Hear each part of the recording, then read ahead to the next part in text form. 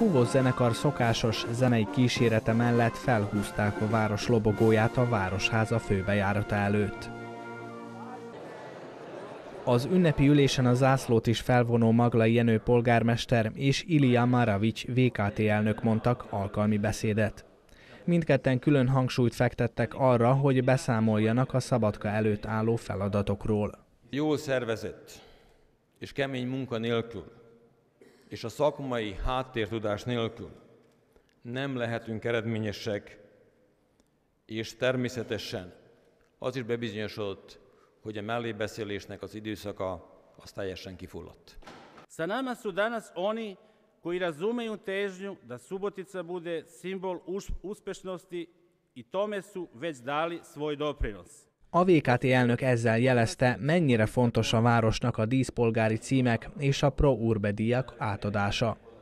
Idén Dudács Károly író, publicista és Milenko Koszanovics karikaturista illusztrátor váltak díszpolgárrá. Máshol is elmondtam már, hogy talán kicsit elsiették ezt a díjat, én úgy érzem még erőmtelhébe vagyok és teszem a dolgomat. Subotica je prepoznala da ja sa mojim radovima koje izlažem u svetu dižem ugled Subotice ujedno i Srbije. A rövidesen 86 éves Kovács Tibor korábbi eredményes motorversenyző Pro Urbe díjas lett még most is felül a motorkerékpárjára. A motorral a 42 óta foglalkozom, és a mai napig is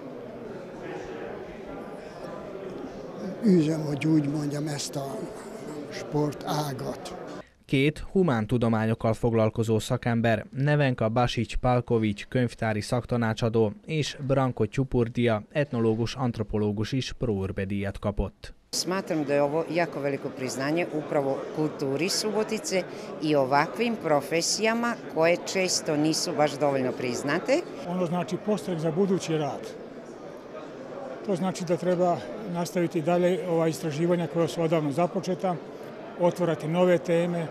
Az ülés végén, ahogyan az elején is, Tamara Markovics énekelt gitárkísérettel.